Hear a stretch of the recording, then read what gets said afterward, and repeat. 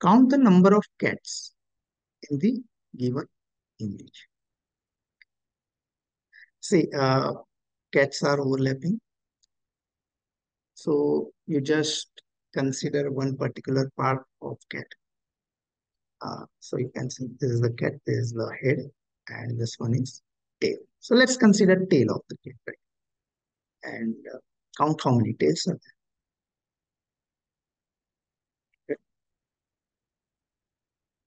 So we can see tail of cat, right? Okay, so this is one, this is two, this is three, one, two, three, name them.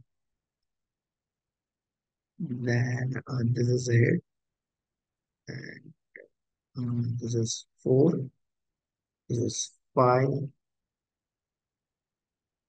this is six, this is seven, this is eight, this is nine, correct?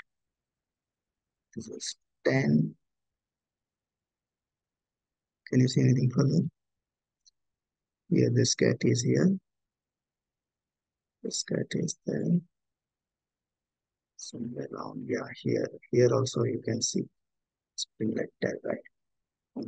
Right, 11. So fine. So I think there are 11. Yeah, so there should be 11. Nothing more. So 11 cats are there.